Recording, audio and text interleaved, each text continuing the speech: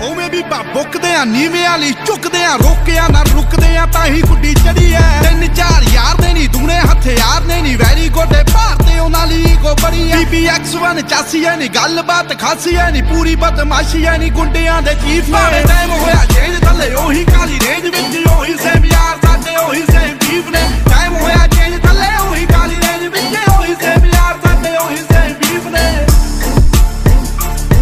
ਸਾਡੇ importante.